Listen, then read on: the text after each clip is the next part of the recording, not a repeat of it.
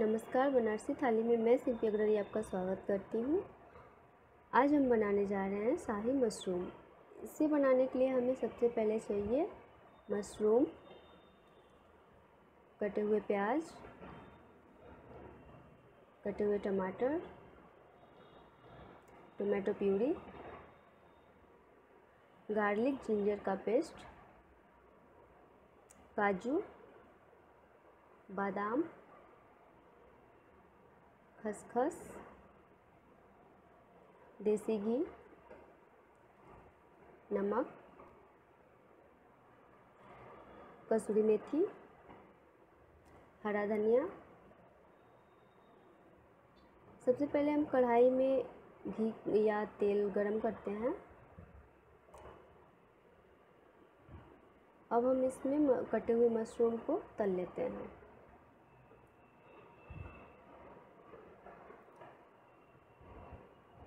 इसे हम दो मिनट के लिए ढक देते हैं ताकि इसका जो पानी होता है वो निकल आए और अच्छी तरह से ये जाता है और अब हम इसमें नमक डाल लेते हैं।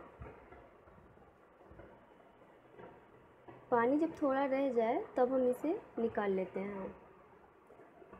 अब हम इसमें थोड़ा घी डालते हैं और उसे गरम करते हैं। इसमें जीरा डालते हैं, तेज़पत्ता, लाल मिर्च, खड़े मसाले, जो हमारा इलायची है, दालचीनी, लौंग, इसको हम अच्छी तरह से भून लेते हैं। अब हम इसमें गार्लिक और जिंजर का पेस्ट डालते हैं। इसे भी थोड़ा भून लेते हैं।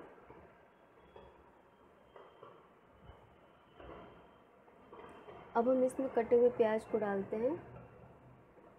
इसे अच्छे से चलाते हैं।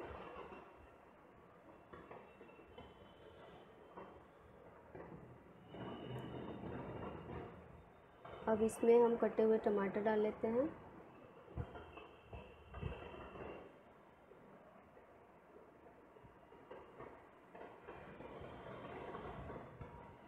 थोड़ा सा पानी डाल देते हैं। आधा कप के लगभग। अब हम इसे ढक देते हैं। तब तक हम अपने ग्रेवी के लिए मसाले तैयार कर लेते हैं। हमने जो काजू, बादाम और ये भीगे हुए खसखस लिए हैं, इसे हम पीस लेते हैं। बादाम को हमने भिगा कर उसका छिलका उतार लिया है। इसमें हमने थोड़ा सा दूध डाला है, जिससे यह आसानी से पीस जाएगा।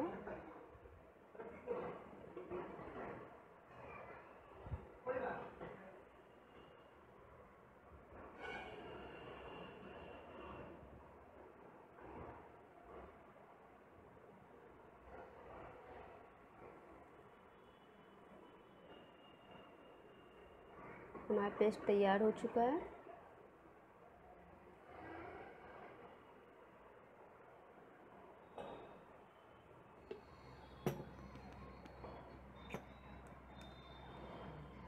हमारा मिक्सचर भी तैयार हो चुका है। अब इसे भी हम खाली कर लेते हैं और ब्लेंडर में निकाल लेते हैं और इसे भी हम पीस लेते हैं।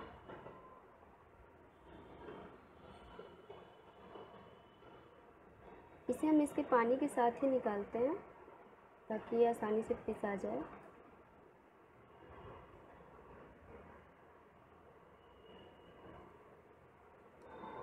ये पेस्ट तैयार हो गया है।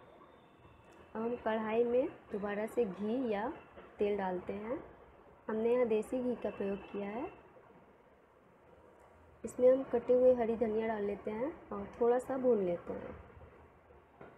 अब हम इसमें टोमेटो प्यूरी डालते हैं। अच्छी तरह से चला लेते हैं।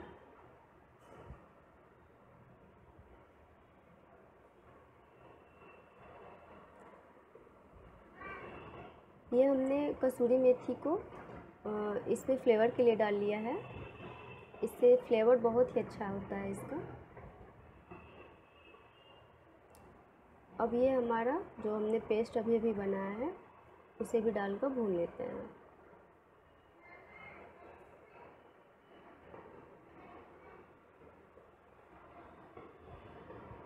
थोड़ा सा पानी डाल लेते हैं।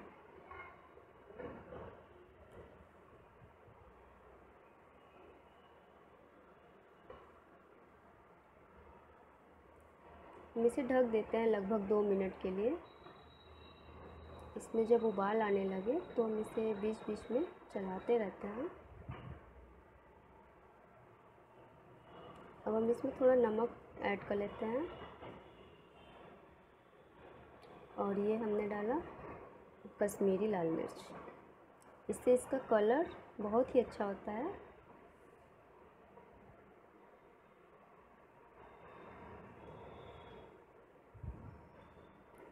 अब हम इसमें काजू, बादाम, खसखस का पेस्ट डाल लेते हैं।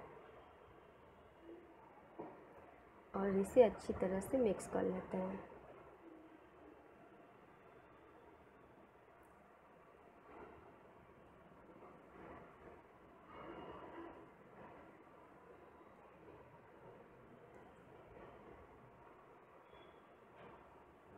दो से तीन मिनट पकने के बाद इसमें हम आधा चम्मच लगभग चीनी डालते हैं।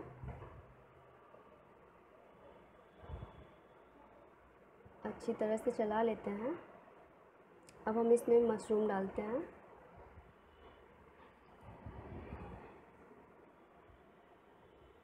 और दो मिनट के लिए इसे ढक देते हैं। दो मिनट के बाद हम इसे दोबारा से चेक कर लेते हैं। ये हमारा मशरूम पक चुका है। अब हम इसे सर्विंग ट्रे में निकाल कर क्रीम से सजा लेते हैं और इसे सर्व करते हैं। अगर आपको ये वीडियो अच्छा लगता है तो प्लीज़ लाइक शेयर और कमेंट कीजिए। धन्यवाद।